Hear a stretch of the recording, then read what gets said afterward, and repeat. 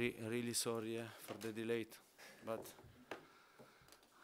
the, we started the training session a bit late. Sorry again. So thanks for your patience, everybody. No, no, no, they are they have a training session uh, still. Uh, uh, the game they are playing the game now. Okay, so we will start with the broadcast section that's got Yeah, no embargo, sorry. followed by an embargoed section of 10:30 p.m. tonight. As always, no live tweeting during the broadcast section. We'll start with team news from Sky, and then a maximum of two questions per person to get through as many as we can. Michael. Hi, Antonio. Hi. There's plenty to ask of the team news. Sonny, Richarlison, Romero, Kulusevski, Bentancur. So if you could just tell us the updates. Yeah, it's better to start with a smile. Uh, um, yeah, and uh, we need we need uh, to to face this uh, this situation. Uh, I said also before, and we have to try to uh, to finish uh, um, these uh, three games in the best possible way. And before uh, were four games, and um, yeah, we have. Uh, we have these injuries, and uh, I confirmed that Richarlison is not available for, for the game, and uh, it's the same for uh, for Romero. And um, no, but, but, but, uh, uh, is uh, much better, and uh, uh, today uh, a part of training session. It, it was the same for. Uh, for uh, Kulusevski today, he had a half training session with uh, with us.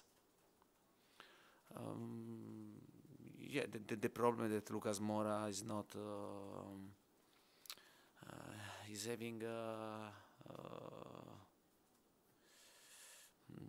different faces, no, and uh, for his pain and his uh, in his tendons. Today was uh, was really bad, and he said me that uh, he was uh, really worried for for this, but uh, I asked him to to try to to be available uh, because we need uh, and uh, also Sonny you know is having now a surgery um, eh, yeah bu- but at the end uh, we, uh, we to be happy uh, for for the qualification Champions League and uh, and now we have to try to to, to finish uh, um, these uh, last three games in the best possible way.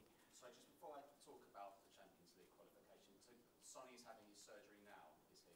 Is that- Yeah, probably, probably now, yes, yeah, So yeah, no decision yet on, on the World Cup. yeah, yeah, yeah. Just one thing on Romero. There's some supporters are slightly worried. They feel like can some players? It's difficult for the players because the World Cup coming up, but are some players fully focused on playing for their national sides, and could they potentially play in these games? Like, is Romero okay?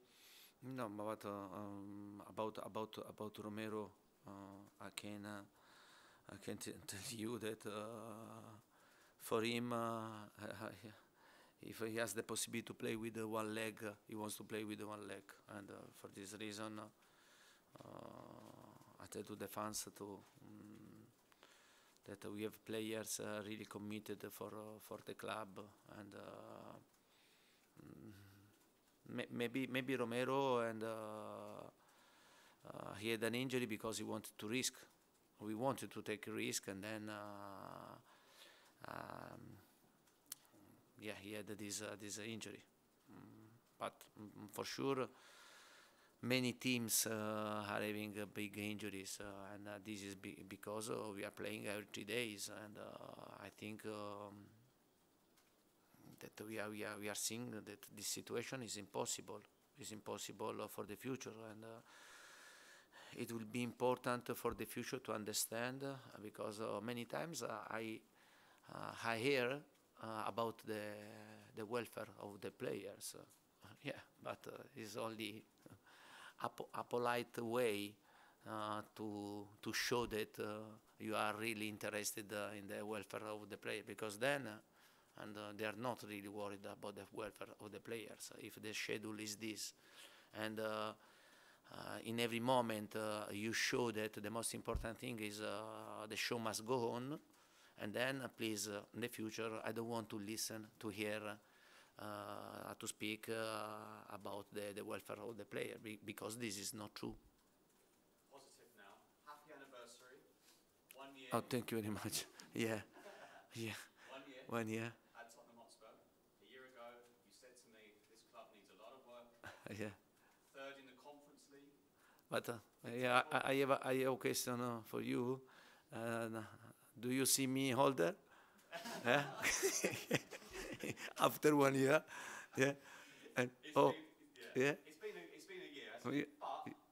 But top of the Champions League group, yeah, third in the table. You beat Liverpool. You go 13 points clear of Liverpool. yeah, Are you happy? Are you proud? And do you get the credit?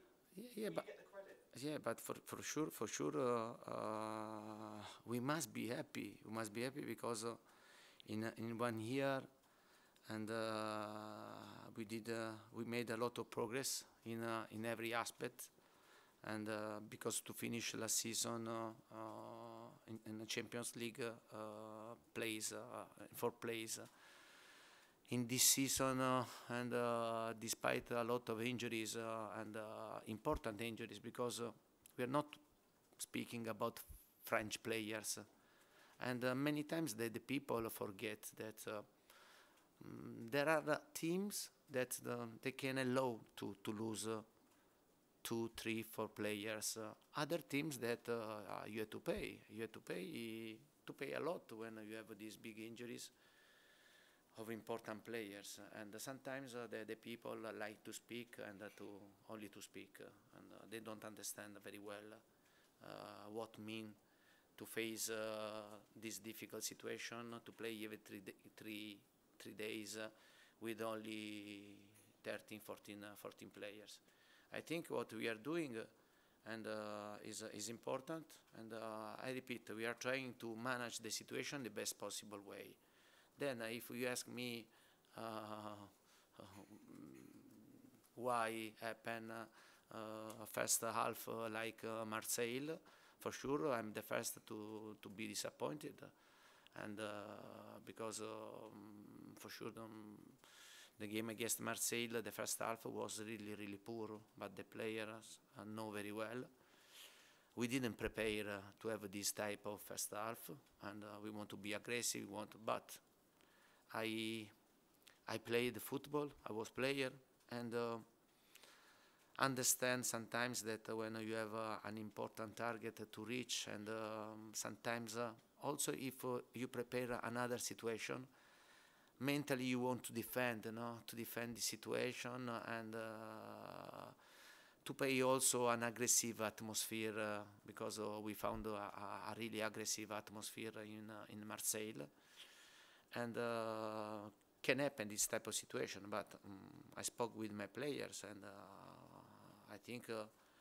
uh, we have to be proud for the um, for the achievement. Don't forget last season uh, we weren't able to. Uh, overcome the, the group in conference in conference league. A lot of positive things. Then, if you ask me, we can improve. Yes. First of all, we need to recover all the players, and then uh, to to try to improve in every aspect. But sometimes you have to play game in a way that maybe you are forced to play uh, that uh, in a way that you didn't prepare but at the same time you have to face uh, difficulty and for this reason uh, i'm proud of my players uh, for their reaction uh, in the second half because uh, they showed me great uh, will great desire uh, to overcome the difficulty and to to take this qualification that for, for us for, for the club for the fans for for everybody is really important. And in my opinion wasn't so sure like uh, many people said. Okay, Alex. Hi, Antonio. Hi. You faced Liverpool at home a month after you took over here last season. What a game that was. Yeah.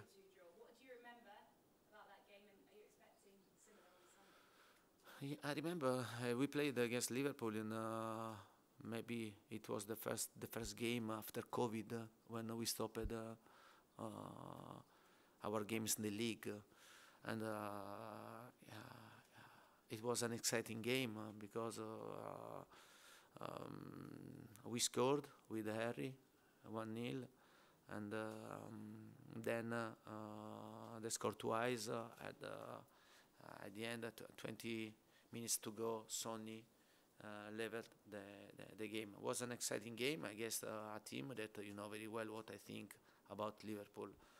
Is one of the best team in the world, and uh, um,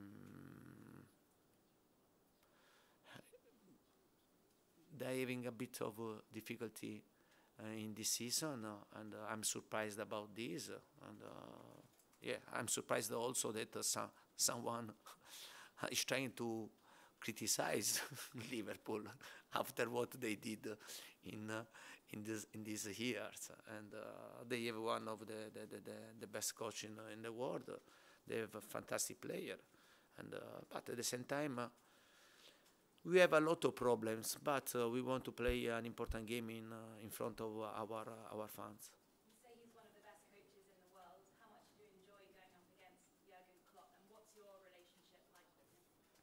But my relationship are a normal relationship. Uh, I have great respect for uh, Jurgen because uh, I repeat, and uh, uh, his story speaks for him, and uh, I, um, he's, uh, he has changed Liverpool. And uh, I remember very well that Liverpool uh, didn't win uh, for a long period, and he had he needed four years, no, to to bring Liverpool to to, to win again. And, mm, for sure, this show that it's important for a coach to have time because uh, if the people that they don't know about football, they think that uh, arrive a coach and uh, uh, the- story of this coach is a winner and uh, you arrive and you bring with you the win and uh, it's not so. And I think Jurgen shows that through the work, through the, the patience, through the transfer market, he improved a lot Liverpool and brought Liverpool at the top, no, of, of the world. And uh, for sure, um, mm, yeah, mm, uh, I- I can speak only well about Liverpool, about uh, Jurgen, about the players of Liverpool. Uh, mm, they they could be a good example, yeah, for us. Thanks, Alex. George? Antonio, hello. Um, Jurgen Klopp has just done his press conference in, in Liverpool and he said it's crazy that the World Cup starts a week after the last Premier League match. And with that in mind, do you do you agree with that? And is Son you think he'll be out? Mm, um, yeah, but uh, um, for sure. Uh, uh, but to, to speak now, to speak now about about this topic, and um, I think that is unuseful uh, because we knew we knew the, about this situation. I knew that it was crazy to put the World Cup during the during the league, during the Champions League, during uh, the fixture. This, uh, this type of schedule is, uh, is really, really crazy. And honestly, honestly, also uh, it's really strange that in England, and if we, we start to play uh, three days after the final of the World Cup, we are the only country to do it. And then if you see Italy, France, Spain, and Portugal in, uh, in uh, all the countries, and uh, they, they they are taking time to give rest and to, to breathe a bit. Instead, uh, and I, I find crazy that uh, 21, uh, 21st uh, December, after three days of the final of the World Cup, you are going to, to, to, to play a game in in a Carabao Cup. Uh, this is, uh, I found also this crazy. And then uh, uh, in, uh, after uh, three days, you had to play in, in Premier League. I repeat. And, and, but now we are talking about, about what? And yeah, the show must go on. This is the truth.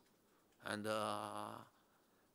but honestly, I, I don't like if uh, the fans think that uh, some players try to uh, to protect uh, themselves for uh, for World Cup because uh, this is not the truth. At least for my players, for my team, I see them every day, and I'm seeing Richarlison. They desire, they will to come back and to help us. Another player can stay and wait. No, and there is only ten days to start the World Cup. Instead, Richarlison wants to come back and to help us. And uh, yeah, but it's crazy. I repeat, when I finish the World Cup and after three days uh, to to restart to play, and uh, also this is crazy. And uh, yeah, I think so. In 1996, I think you missed Euro 96. Is that right? As a player yourself with an injury, can you just explain how hard it is to miss a major tournament when you're playing? In 1996, uh, Yeah. Eh. You was injured, in Euro 96 for Italy. any friends? Yeah, you got injured, I think. Did you miss the major tournament? In, it was in England. Ah, yeah, you, uh, European. uh, yeah, yeah, yeah, yeah. Because how, uh, yeah, hard is that for you to miss Yeah.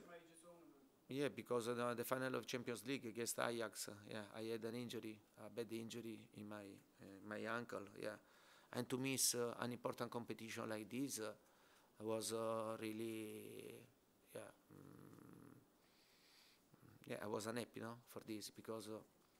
In your life, you know that uh, this competition, like uh, uh, World Cup, European Cup, and when there is the possibility to play, it's a great joy for uh, for every single player uh, to represent your your country. Yeah, I am. Yeah, I, I, mi- I miss it. I miss it for injury um, because in the last game, uh, the final Champions League against Ajax, uh, I had a bad uh, injury in my ankle. Yeah. Okay. Ali, we'll finish with you, please. We're used to seeing you obviously very passionate on the touchline. Obviously on Tuesday night you were up in the stands with Greta Steins and Daniel Levy, Yeah. directors. How difficult did you find that up there? And also, did it give you a different kind of perspective on the match? Mm, ah, it was terrible. Yeah, it was terrible. yeah, honestly. Uh, hon- hon- honestly, and then um, yeah, it, it- was really strange also that um, my place, because uh, my, place was uh, in the middle of, uh, of the, the, the, the, people with fans. I think maybe maybe UEFA could uh, could find uh, a better situation. In yeah, also because I repeat and. Uh, but it, it was uh, really difficult for me uh, because you stay there and uh, uh, you can help your team uh, also with uh, with uh, to give uh, uh, information, no? especially in the first half because in the first half. Uh, um, we were really, really passive, and uh, to see your team uh, to struggle, and uh, you suffer. You suffer a lot because it's, you know, and for every coach, his team is is like a, a son, no? It's like my my my son or my daughter is a, a my creature, no? And uh, to see uh, to mm, my players to, to go in a such uh, difficulty was really really difficult for me. Yeah, don't uh, don't try no, don't try to, to, to help them. But uh, for this reason, I want to, to tell thanks to my staff because uh, they did a really good job. And between the first uh, the first half and the second half, also the players. Uh, uh, they showed great unity, and the second half was uh, mm, was different. Was different. I think we deserved to uh, to to win the game. Um, I want to ask you about Rodrigo Bentancur. Obviously, come to you an experienced player, three-time Serie A title winner. But it feels like you've added more to his game. He seems more Yeah. offensive as well in his play. What have you worked with him on, and just how good can he be? But Rodrigo, Rodrigo uh, uh, has only one one problem, uh, in my opinion. Okay, and uh, uh, he has the the real possibility to be really really top top. But you know that uh, to to become a top player and you need to will it and to to decide this. You understand? Because uh, I, I mm, in uh, in the last period, I think that uh, Rodrigo is playing uh, in uh, in an outstanding way, and is a player that uh, is giving us a lot on the pitch, outside of the pitch, and um, we are talking about a player that is showing the possibility to be a really top top midfielder in the world, one of the best midfielder in the world. But you know, to be a good player and a top, this is the difficulty. And uh, when you are uh, medium to become good, it's not so difficult. But the difference is to become good top. I think he has uh, everything, has a great potentiality to become a really top, top midfielder. And for this reason, uh, and uh, uh, I push him. I push him every day. I push him uh, during the training session, and uh, uh, because he has this quality to, to become.